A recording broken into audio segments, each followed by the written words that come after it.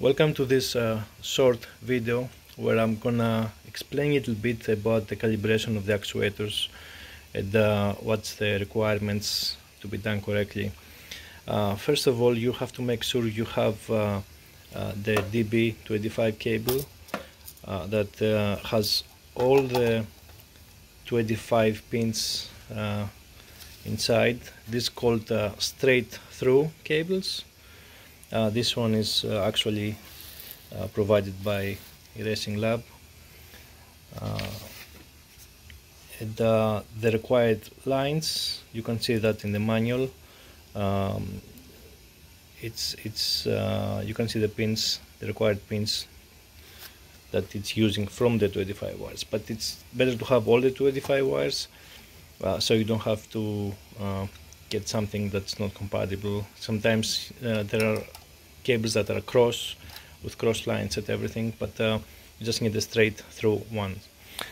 And um, and then another thing is you'll have to uh, make sure to put the all the parameters listed in the manual uh, in the servo drive. Okay? Um, so because there's extra ones that uh, check the levels um, on the signal lines for the torque the requirements to make sure it's active. Right now, for example, uh, you can see it, um, it's uh, not powered, it will show all X. Uh, as soon as I power on, uh, the actuator is extended, it's not calibrated. Uh, as soon as I power on, it will start retracting, it will hit hard stop, the end of the travel, and it will calibrate.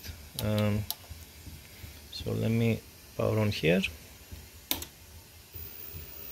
you'll see it shows the C calibrating. And then P that it's parked in position. Right and uh, if I press the button now it will go extend all the way or retract all the way. Standby it's uh, when you release it it will go to middle and then return again. Alright? But you have to make sure you, you go and check these parameters for example the PN24 let's see here let's go there to see how it's you press model go there. Uh, this is on uh, 24 oh.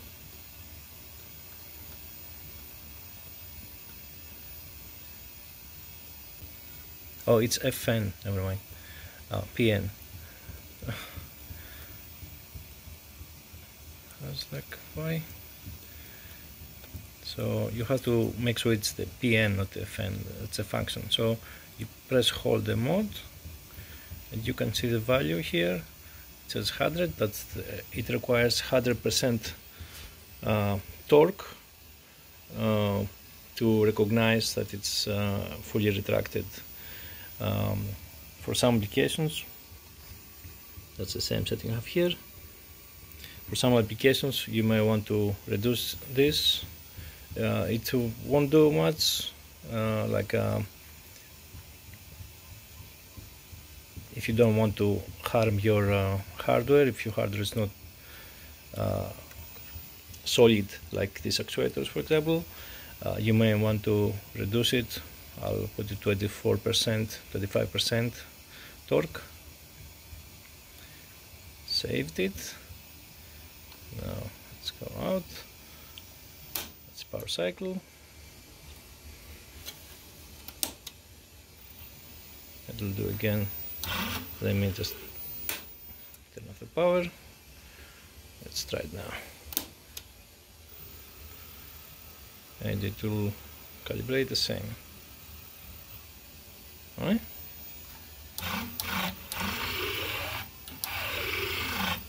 So that's how you calibrate the actuators actually. Just have to make sure you have the settings the correct cabling and the um, the hardware to support to have a hard stop or travel. Uh, if it's a rotary that the motor doesn't have resistance to uh, stop against something it, it will keep rotating. Alright thanks for watching